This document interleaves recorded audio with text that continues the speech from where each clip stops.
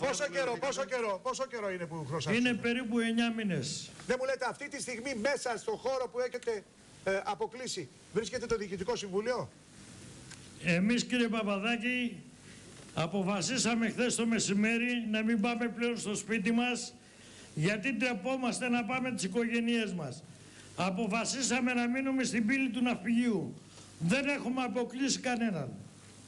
Δεν είναι μέσα αυτή τη στιγμή το. δι- Τα μέλη του ΔΣ είναι μέσα αλλά δεν τους έχουμε αποκλείσει εμείς. Δηλαδή, αν θέλουν μπορούν να βγουν, για παράδειγμα, ή δεν θέλουν να βγουν. Μέλος του ΔΣ που ζήτησε να φύγει έφυγε χωρίς να έχει κανένα πρόβλημα.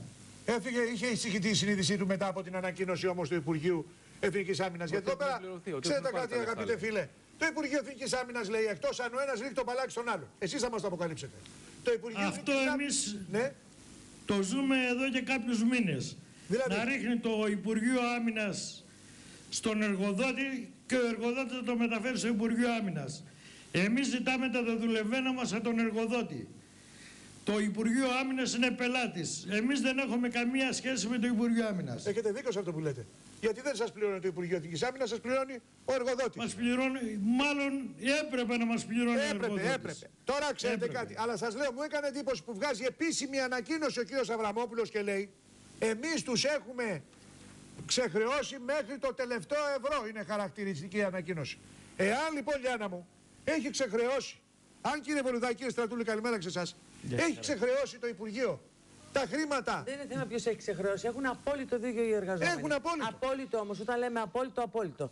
Και δεν καταλαβαίνω Παπαδάκη. γιατί, γιατί πρέπει να καθίσουμε να συζητήσουμε αν ο Για πελάτη τα φταίει αυτονόητα. Τα ή ο αυτονόητα. εργοδότης φταίει εδώ. για την Όχι ότι προκειμένου. ε, υπάρχουν χρήματα. Ότι α, από τη στιγμή που υπάρχουν χρήματα πρέπει να λογοδοτήσουν κύριε Βολουδάκη και όλοι αυτοί. Προφανέστατα. Ποιος είναι αυτός; Είπαν οι άνθρωποι ότι μέχρι τώρα άκουγαν τον ένα να ρίχνει τις ευθύνες στον άλλο. Όταν υπάρχει επίσημη ανακοίνωση του Υπουργείου Αμήνης αυτή τη στιγμή ότι έχει πληρώσει τα οφειλόμενα. Εδώ ο εισαγγελέας γιατί δεν στον παρεμβαίνει; Υπουργείο, Δεν είναι δυνατόν. Είμαι Εισαγγελέας βέβαιος- γιατί δεν παρεμβαίνει; Είμαι βέβαιος, δεν φαντάζεται κανείς ότι. Εγώ δεν έβγαλε έχω ο νομικές Υπουργός- γνώσεις, έχει ότι Λιάννα έβγαλε ο νομικές Υπουργός γνώσεις. ανακοίνωση που λέει ότι έχω εξοφλήσει. Έχει Λιάννα. Λιάννα; Δεν λύνονται τα εργασιακά ζητήματα με τον εισαγγελέα. Όχι, Είναι άλλο- σαν να άλλο. μου λε τώρα να τους συμβουλέψει κάποιος να Όχι, πάνε να άλλο κάνουν λέω, άλλο λέω, άλλο λέω. κατάσχεση ισχύρα τρίτου και να πάρουν τα λεφτά τους από τον Άλλο- πελάτη. όχι, άλλο, άλλο, λέω, Πάντως άλλο τους λέω. τιμάει Από τη ιδιαίτερα στιγμή και που το έχουμε- γεγονός όχι, ότι μισό λεπτό. διαμαρτύρονται κατά αξιοπρεπή τρόπο. Ούτε από Αξιοπρεπέστατο και είναι από τη στιγμή που έχουμε δημόσια, α, δημόσια δήλωση. Δηλαδή μετά από τέτοια αδικία σας ενδιαφέρει Όχι, η, το επισημαίνω- η αξιοπρέπεια του αγώνα; Γιατί είναι κακό που το Όχι, γιατί επισημαίνω. υπήρξαν και άλλοι αξιοπρεπεί Εγώ σας είπα, αγώνες οι εγώ- οποίοι εγώ καταλήξανε λέω- εγώ λέω ότι στο αυτό που ίδιο συμβαίνει είναι αποτέλεσμα, απαράδεκτο. στο ίδιο αποτέλεσμα μαζί με βία.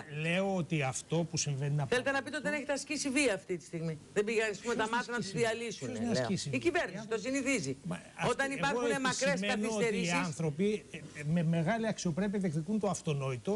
Με, διαπιστώνω, δεν σας κρύβω ότι και εγώ όταν άκουσα να ξεκινάει η ιστορία, ε, δεν σας κρύβω ότι φοβήθηκα ότι είναι μια και πίσω από αυτό ότι μπορεί να υπάρχει και μια Θυμάστε προσδοκιστές το καθυστερήσεις νομοσχέδιο στη πληρωμών Βουλή δημοσίου. για το ξεμπλοκάρισμα. Αλλά εδώ τώρα υπάρχει Θυμάστε το η νομοσχέδιο στη διευκρίνηση Βουλή και τη ότι φασαρία που δεν έγινε υπάρχει για το καθυστέρηση από ξεμπλοκάρισμα πλευράς του του δημοσίου. ταβουλάρι στη Σύρο.